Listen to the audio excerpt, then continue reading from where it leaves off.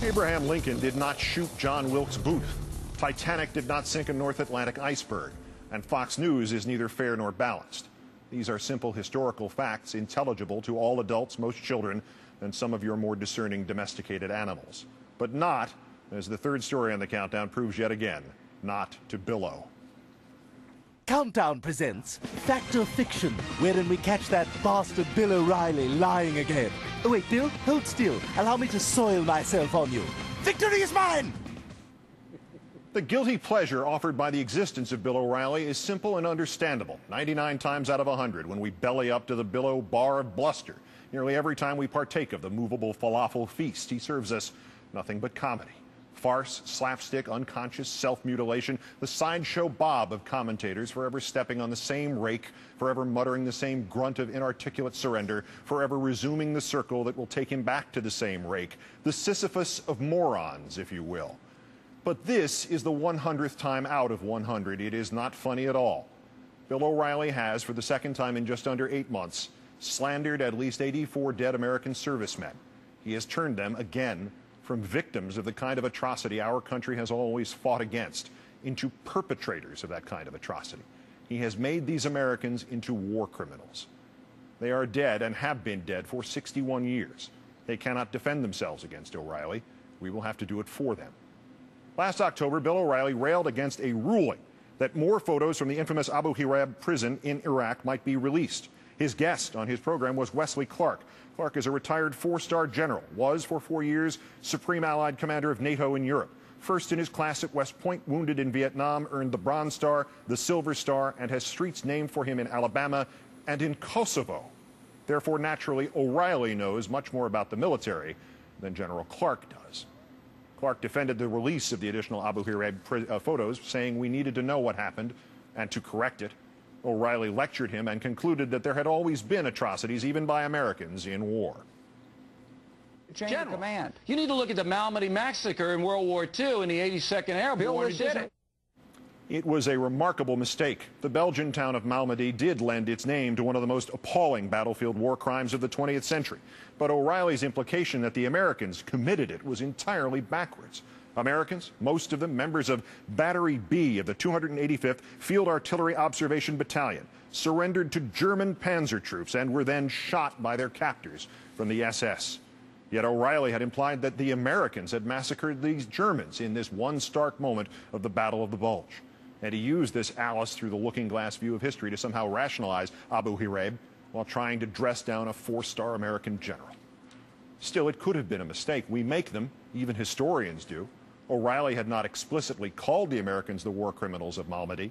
Our troops, too, were accused of crimes against prisoners in the Second World War. It was assumed last year he had simply made a foolish error, and though he got beaten up appropriately in some places, it was all largely dismissed as merely that, a mistake. Then came this Tuesday night. Again, O'Reilly's guest was General Wes Clark. This time the topic was the apparent murder of Iraqi civilians at Haditha. That O'Reilly was dismissive of that event should be no surprise that he should have described as the real crime of Iraq, the events of Abu Ghraib, should be no surprise to those who know of his willingness to jettison his most important beliefs of yesterday for the expediencies and the ratings of today. But that he should have brought up Malmedy again, that was a surprise. In Malmedy, as you know, U.S. forces captured SS forces who had their hands in the air and they were unarmed and they shot them down. You know that. That's on the record, been documented. Thus was the full depth of Bill O'Reilly's insult to the American dead of World War II made clear. The mistake of last October was not some innocent slip nor misremembered history. This was the way O'Reilly understood it, and thus this way it had to be. No errors corrected, no apologies offered, no stopping the relentless tide of bull, even briefly enough to check one fact. The facts of Malmedy are terrifying as described by Michael Reynolds in his painstakingly detailed article from a 2003 issue of World War II magazine. One week before Christmas 1944, 139 U.S. soldiers, most of them from the 285th Field Artillery, encountered the German Kampfgruppe Peiper, the leading formation of the German 1st SS Panzer Division, one of only two German units in the entire war which actually carried Adolf Hitler's name. The Americans were overrun 11 of the 139 soldiers were killed in the very short Battle of Malmedy. Two more were killed as they tried to flee. Seven escaped. Six became prisoners of war.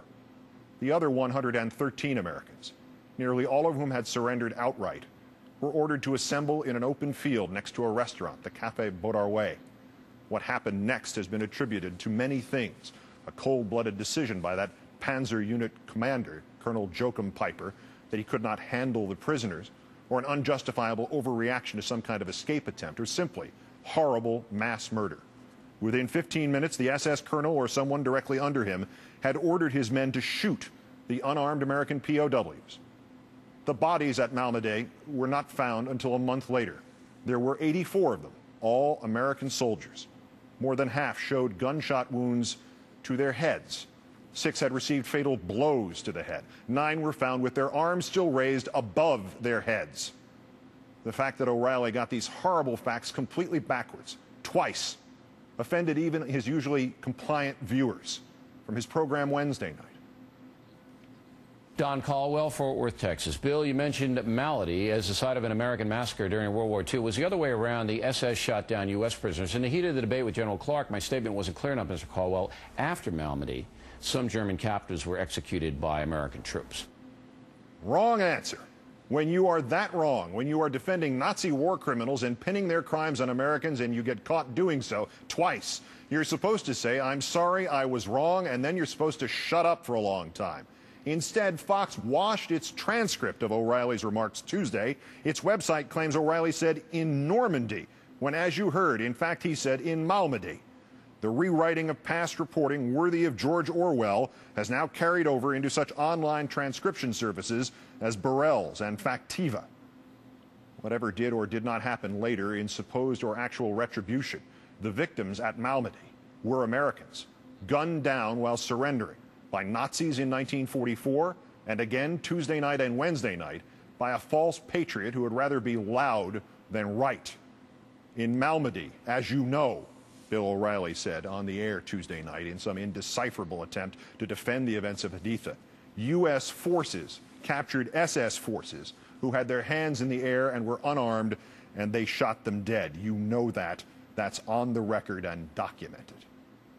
The victims at Malmedy in December 1944 were Americans. Americans with their hands in the air. Americans who were unarmed. That's on the record and documented. And their memory deserves better than Bill O'Reilly. We all do.